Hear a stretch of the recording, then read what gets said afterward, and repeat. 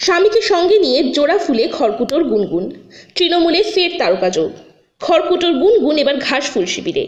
শনিবার আনুষ্ঠানিকভাবে তৃণমূলে যোগ দিলেন টেলি দুনিয়ার জনপ্রিয় অভিনেত্রী তৃণা সাহা। সঙ্গে যোগ দিলেন অভিনেতা নীল ভট্টাচার্য। এদিন তৃণমূল ভবনে তাদের হাতে দলীয় পতাকা তুলে দেন মহাসচিব পার্থ চট্টোপাধ্যায়। সদ্য বিয়ে করেছেন নীল ও তৃণা। তাদের ডাকে সাড়া দিয়ে প্রিয় দিদি হাজির হয়েছিলেন নবদম্পতিকে আশীর্বাদ জানাতে। এবার সেই দিদির পাশে দাঁড়িয়ে তার হাত শক্ত করতে চান তৃণা। এদিন তিনি বলেন, আমার নিজেকে খুব সৌভাগ্যবান মনে হচ্ছে। দিদির পাশে থাকার সুযোগ পেলাম। পুরো আর্টিস্ট ফোরাম আজকে শুধুমাত্র দিদির জন্যই দাঁড়িয়ে আছে।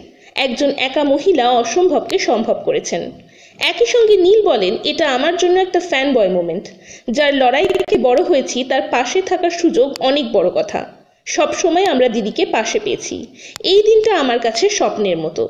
উল্লেখ্য রিয়েল লাইফের স্বামীকে পাশে পেলেও রিল লাইফের স্বামী, অর্থাৎ গুনগুনের সৌজন্য, ওরফে কৌশিক রায় কিন্তু ইতিমধ্যেই নাম লিখিয়েছে গেরুয়া শিবিরে। রাজনৈতিক প্রতিদ্বন্দ্বিতার এই আবহ সিরিয়ালের পর্দায় কতটা প্রভাব ফেলে সেটাই এখন দেখার।